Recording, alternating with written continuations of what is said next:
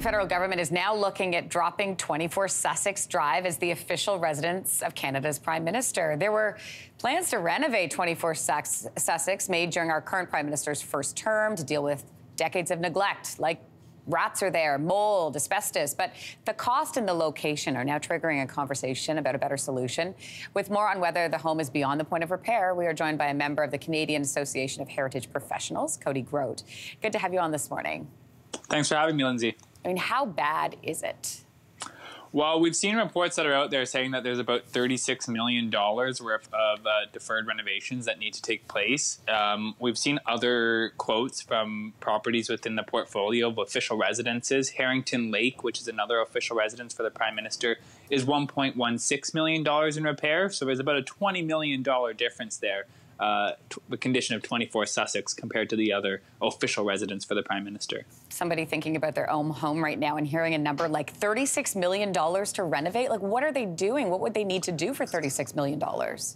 I know it's quite a significant number, especially when we look at the housing crisis that does exist in this country. And I think what we've seen is a whole bunch of prime ministers who continually uh, decide to not invest that money because it is sort of a bad PR image uh, and it keeps on getting deferred, which gets us to this crisis. But again, some of the things that need to be done is just the, the matter of security as well. When we look at the, the state of our political climate and the security concerns that are necessary for a prime minister, that's, that's one of the major renovations that needs to take place, as well as some of the more uh, conventional renovations we might hear of, such as asbestos. Okay, so Cody, you're saying that it would cost around $36 million basically to renovate. How much would it cost to tear down and rebuild?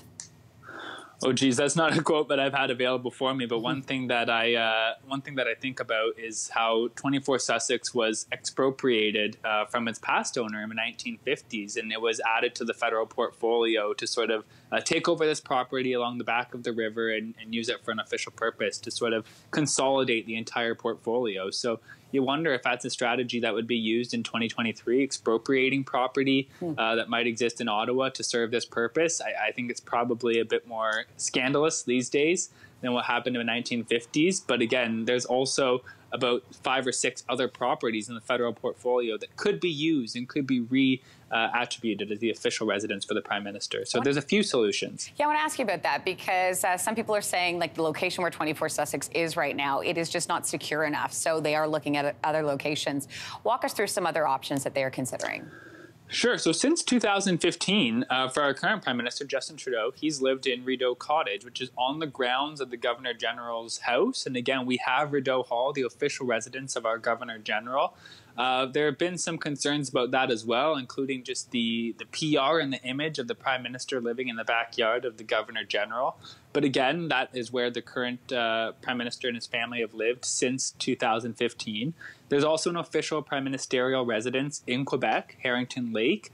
The leader of the official opposition, Pierre Poilievre, has an official residence. The Speaker of the House of Commons has an official residence, Anthony Rota.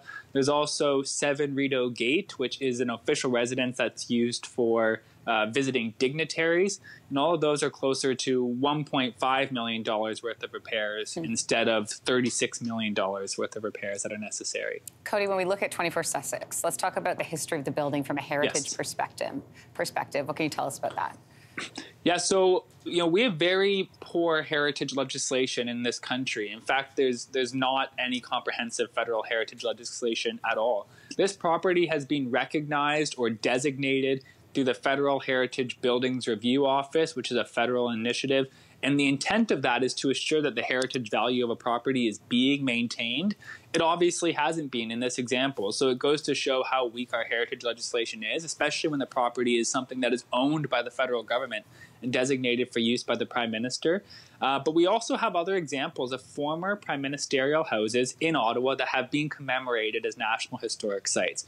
Earnscliffe, the former home of John A. Macdonald, is now the residence of the British ambassador. Mm-hmm. And we mm-hmm. also have Laurier House, which was lived in by both Wilfrid Laurier and William Lloyd Mackenzie King, which is a museum in Ottawa. So we have other examples of former prime ministerial residences that have been reinterpreted, reused, uh, used as museums. This could be another example of that. But they have to renovate first, I would imagine. But they, exactly, yeah, make it a little big, bit safer. That's a big problem. All right, Cody yeah. Groat, uh, thanks for your time this morning. We appreciate it. Thank you, Lindsey. Hey, thanks for watching. If you liked this, be sure to subscribe here, or you can check out more Your Morning videos right here.